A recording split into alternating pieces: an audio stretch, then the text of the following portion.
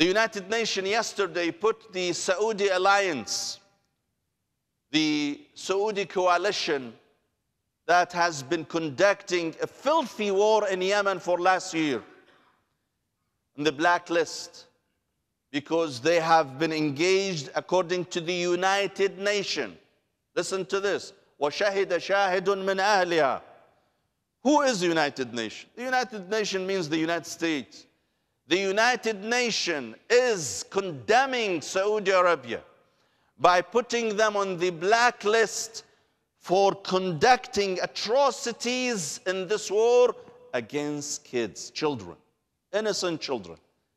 Hundreds and probably thousands of children have been killed in the war in Yemen by the Saudi troops under the name of liberating Yemen from the Houthis. You want to liberate Yemen from the Houthis? Then go and fight with the Houthis. Why do you involve the children? Why you kill children? Why you spill their, their blood? Is this Islam? Is this true Islam? Is that what Islam taught you, Saudis?